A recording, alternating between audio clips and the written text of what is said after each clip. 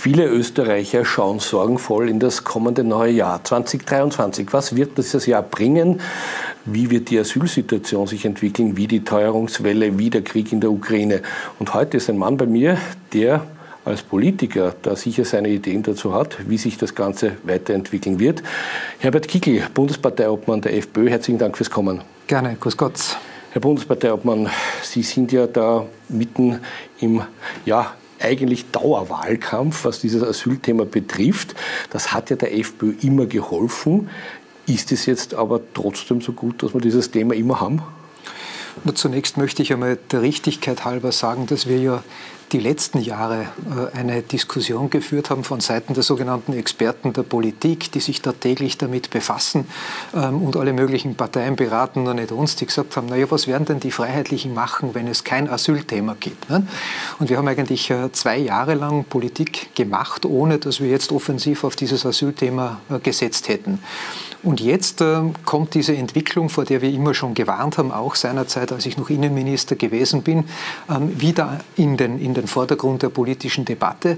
Nicht, weil das Problem vorher nicht so existent gewesen wäre, das war schon da, sondern es ist halt medial zugedeckt worden. Die Politik hat sehr, sehr viel Kraft und sehr viel Energie auch darauf verschwendet, in einer glaube ich, in einer, in einer Lehre aus dem Jahr 2015, 16, dass man nicht so viel darüber berichtet, dann regen sie die Leute weniger auf. Und jetzt hat es eine Dimension erreicht, wo das nicht mehr funktioniert und jetzt ist das Asylthema da. Mhm. Aber wird sich das jetzt im Jahr 2023 ja, dann noch verschärfen oder wie ist Ihre Prognose? Ja, ich glaube, das wird sich verschärfen und äh, es wird in der Politik, und das ist der entscheidende Punkt in der Innenpolitik, die Glaubwürdigkeitsfrage auch in diesem Bereich ins Zentrum der politischen Auseinandersetzung bringen. Ähm, denn äh, man kann ja vergleichen. Es hat in diesem Land eine Phase gegeben, wo die Freiheitliche Partei im Innenministerium zuständig gewesen ist. Das war mit mir als Innenminister. Und wenn Sie sich die Zahlen dort anschauen, dort haben wir einen Bruchteil von dem gehabt, was war wir heuer haben. Eine Phase, wo es eher ruhiger war?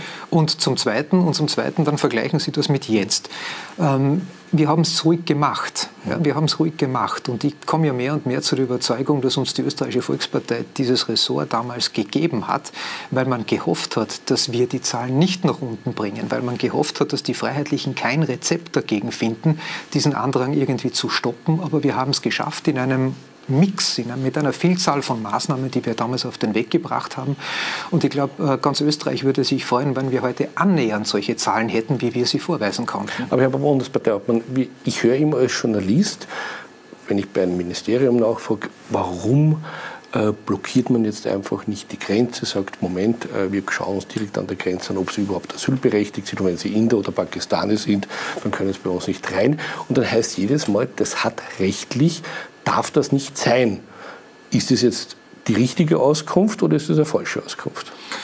Also ich glaube, äh, dass es keine korrekte Auskunft ist, sondern es ist ein vorgeschobenes Argument dahingehend, dass man einfach nicht den Mut hat, ähm, diese Dinge durchzuziehen. Das ist natürlich, sage ich mal, nichts, ähm, wo man nicht in ein gewisses Spannungsverhältnis kommt, sage ich mal, mit den geltenden Regeln.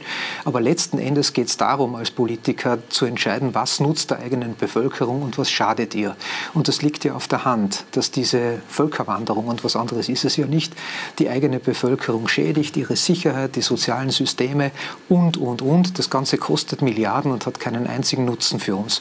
Und deshalb ist die Politik gefordert und im ganz Speziellen ist es der Innenminister, dem ja die Sicherheit im Land und die Erhaltung der öffentlichen Ordnung und Ruhe äh, quasi, das ist ja seine Kernaufgabe, dessen Kernkompetenz ist es, das sicherzustellen und das kann ihm niemand in Brüssel oder auf einer anderen Ebene abnehmen. Ich habe das in meinen, äh, bei meinen internationalen Auftritten da im Rahmen der Europäischen Union auch immer so artikuliert. Äh, ich habe gesagt, Sie können von mir verlangen, was Sie wollen, aber letzten Endes ist die Kompetenz die des Innenministers für die Sicherheit zu sorgen und der wird das machen, was er dafür für notwendig äh, erachtet. Und wenn es jetzt die eine oder andere sagen wir Überschneidung oder die eine oder andere Problematik mit dem europäischen Recht gibt, na, Herr Schmidt, dann frage ich Sie, dann gibt es halt ein Vertragsverletzungsverfahren mehr. Ich weiß gar nicht, wie viele wir anhängig haben. Es sind sehr, sehr viele. Warum nicht auch einmal in einem Bereich, wo es für die österreichische Bevölkerung wichtig wäre, das auch auszustreiten? Aber bleiben wir da ganz konkret. Sie waren ja Innenminister im Ministerium muss ja alles mit einer Verordnung, mit einem Erlass äh, passieren. Äh, kann man dann als Innenminister, wenn Sie es wieder werden würden, äh, dann sagen, Moment, liebe Grenzpolizisten, ich gebe euch den Erlass an Inder oder Pakistani, lasst sie nicht mehr rein. Ist das möglich? Jetzt drehe ich die Sache um. Natürlich ist das möglich und wenn es anders nicht möglich wäre, dann hätte ja die österreichische Volkspartei nicht Hand in Hand mit der Sozialdemokratie, nicht Hand in Hand äh, zwischen Regierungsebene und allen Landeshauptleuten im Jahr 2016 eine Obergrenze definieren können, aus meiner Sicht viel zu hoch. Und an diese Obergrenze, damals waren es 37.500 Anträge im Jahr, eines koppeln, nämlich die Nichtmehrannahme von Asylanträgen. Wir haben ja das in der Schweiz jetzt derzeit auch, dass man da sagt, sehr klar, also wir haben eine Obergrenze erreicht, bis dahin können wir auch Wobei, die zu uns kommenden Migranten gut versorgen sorgen.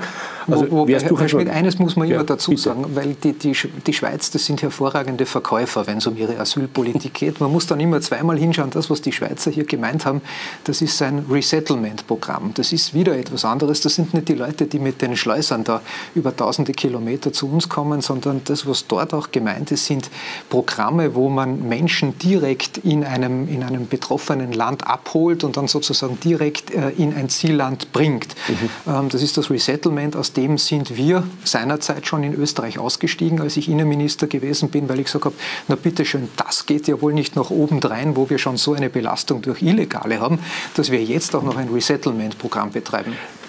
Gleich eine Frage zum Thema Innenminister. Würden Sie es noch einmal machen, wenn das möglich wäre? Die Umfragen, die sehen ja jetzt Woche für Woche, die FPÖ ist auf 26 bis 30 Prozent von den Meinungsforschern gerankt. Ähm, würden Sie das nochmal machen? Ich glaube, äh, ich wäre ein, ein, ein, schlechter Politiker und äh, es würde auch sozusagen meiner freiheitlichen DNA widersprechen, sich einer solchen Aufgabe nicht zu stellen. Und wenn ich es nicht mache, dann wird sich ein Freiheitlicher finden, der das, was wir damals im Innenministerium begonnen haben zum Schutz der österreichischen Bevölkerung, der das fortsetzt. Also kein glaube, Nein. No, das ist kein Nein, natürlich nicht. Und ich, ich denke, es wäre ja gar nicht so schwer. Man könnte sich ja, und ich habe das der Regierung auch empfohlen, zum Beispiel eine Rückendeckung holen gegenüber Brüssel, indem ich die Bevölkerung einmal zu diesen Themen befrage. Das hat ja kein Mensch gemacht. Fragen wir doch die Menschen, ob sie das haben wollen, dass es einen echten Grenzschutz gibt oder ob Grenzschutz bei uns gleichbedeutend sein soll mit diesem Empfangskomitee, das es im Moment gibt. Mhm. Und da könnte man mehrere solche Fragen miteinander koppeln. Dann macht man eine Volksbefragung und mit diesem Ergebnis ausgestattet fährt dann der Bundeskanzler und der zuständige Innenminister nach Brüssel und sagt, das ist das, was die österreichische Bevölkerung will. Und und ab sofort setze ich mich hier in diesen Konferenzen und an diesem runden Tisch nur mehr dafür ein, das zur Umsetzung zu bringen. Was soll man da dagegen machen? Wäre ein vielleicht interessanter Ansatz. Ja, da wären wir schon zwei aber, mit den Ungarn. Ah, genau, eben. Ja. Das wollte ich eben gerade darauf auf Ungarn zu kommen, zu sprechen kommen, weil ja das ein Riesenthema ist. Wenn man dann Milliardenzahlungen aus der EU nicht mehr bekommt, die ihnen ja zustehen würde, äh, ist es da nicht ein Schuss ins Knie? Da haben wir aber eine etwas bessere Position, als sie die Ungarn haben, denn wir sind Nettozahler, Herr Schmidt. Mhm. Die Ungarn sind Nettoempfänger. Die kann man jetzt sozusagen mit dieser Schraube dafür erpressen, dass sie auf die eigene Bevölkerung schauen. Schlimm genug, dass die Europäische Union das macht, aber auf uns sind sie angewiesen. Sie brauchen das Geld aus Österreich. Sie kennen ja diese Erweiterungs Erweiterungspläne, da kommen ja lauter Länder dazu, die man bezuschussen muss. Das sind ja keine Nettozahler, die da auf der Erweiterungsliste stehen. Ja, da muss man sich eigentlich alle zehn Finger abschlecken, dass man noch ein paar Nettozahler hat. Und diese Karte, die sollten wir viel, viel stärker spielen.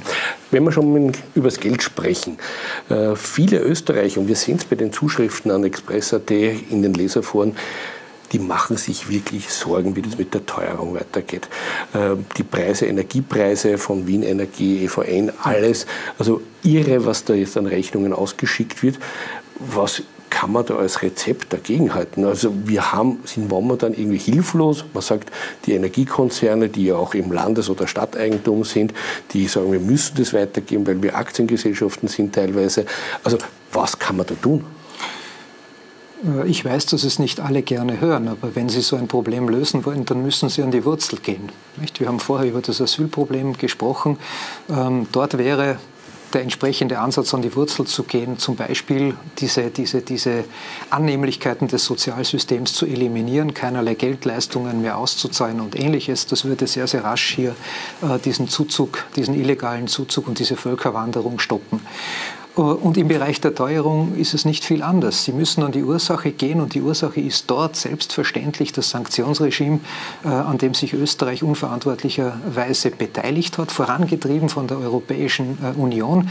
Das führt uns jetzt hinein in ein Teuerungsdesaster rund oder angetrieben von einer, von einer Teuerungsproblematik rund um Öl und Gas. Und da kommen wir nicht raus, solange wir dieses Problem nicht lösen. Ja, aber da gibt es doch immer und viele Stimmen, die sagen, wenn wir die Sanktionen beenden, dann heißen wir das de facto gut, dass Russland jetzt einen Teil der Ukraine besetzt hat. Nein, das bedeutet es nicht, sondern das, was wir damit machen, wenn wir aus diesem Regime aussteigen, wenn wir Verbündete suchen, die, äh, so wie wir sagen, dass wir mit diesem Wirtschaftskrieg uns äh, quasi, dass wir da nicht äh, ähm, ähm, erfolgreich sein werden, sondern dass wir hier mit einem Knieschuss zu tun haben, dann ist das das, was die Vernunft gebietet und dann ist es das, was die österreichische Politik als Politik eines neutralen Landes umzusetzen hätte, sich nämlich herauszuhalten und sich auf die eigene Bevölkerung zu konzentrieren. Wir, sind, wir keine, schon wir sind keine Kriegspartei. Wir haben ja das jetzt schon erlebt. Also die Aufregung war ja durchaus beachtlich, weil Österreich gewagt hat, jetzt zu dieser Schengen-Erweiterung ein Veto auszusprechen. Äh, würde das dann nicht noch einmal extrem aufkochen und uns, ja, doch sehr isolieren, international, europaweit zumindest, äh, wenn wir diesen Weg gehen würden, den Sie jetzt gerade vorgeschlagen haben? Nein, das glaube ich gar nicht, denn äh, da sind ja ganz andere Dinge auch im Hintergrund schon gelaufen. Sie wissen ja, dass sich die Ungarn zum Beispiel sehr wohl ähm, ihre Sonderregelungen herausverhandelt haben, wenn es um die Frage des äh, Ölembargos geht. Für die Ungarn gilt das nicht. Die dürfen also weiter Rohöl importieren und die dürfen auch russisches Öl weiter verarbeiten und die raffinierten Produkte weiter verkaufen. Die Tschechen haben sich hier entsprechende Sonderregelungen Sonderregeln herausverhandelt. Für die Slowaken gilt das Gleiche. Die Kroaten haben das auch. Ich habe schon langsam den Eindruck, also wir sind jetzt das einzige Land oder eines der wenigen Länder, wo der Regierungschef nach Moskau gefahren ist, ähm, aber wo das Ergebnis 0,0 oder kontraproduktiv für die eigene Bevölkerung ist. Also man, muss, man muss ein bisschen kreativer sein. Aber ich habe Ihnen jetzt einige Länder genannt, dann wären es wieder eines mehr. Und irgendwann einmal hat man dann auch eine kritische Masse in der Europäischen Union, die die Frau von der Leyen und andere, die da sich vor den Karren der Amerikaner spannen lassen, lassen, die die vielleicht zum Umdenken bewegen. Aber kommen wir mal zur Regierung, auch zur Koalition von Schwarz und Grün. Glauben Sie nicht, dass man das durchhalten wird bis 2024 zum offiziellen Wahltermin, wenn die Umfragewerte für Sie so gut sind und für die Koalition so schlecht sind? Ja, das glaube ich. Ähm, ich glaube, dass uns das droht. Ja, das wird die Situation nicht besser machen, weil gerade im Bereich der Teuerung ähm, ja noch äh, überhaupt kein Anlass für irgendeine Form der Entwarnung gegeben ist. Ja, ich verstehe ja gar nicht, wie die, Re die Regierung sich jetzt am Jahresende da auf die Schultern klopfen kann und sagt, also sie hat zwar alles ausgehalten, äh, nicht dazu sagt, dass die Gesellschaft zerbrochen ist an ihrer Corona-Politik, dass der Mittelstand gerade zerbricht, ähm, dass es einen massiven Anschlag auf die Wirtschaft gibt aufgrund dieser ganzen Sanktionspolitik, die unverantwortlich verantwortlich ist. Also es ist zu befürchten, dass es bis zum Ende weitergeht, aber es gibt einen einzigen Trost bei der ganzen Angelegenheit. Mit jedem Tag, wo diese Regierung länger im Amt ist, ist es gleichzeitig ein Tag kürzer, wo es noch dauert, bis es Wahlen gibt. Herr Bundesparteiobmann, herzlichen Dank für das Gespräch.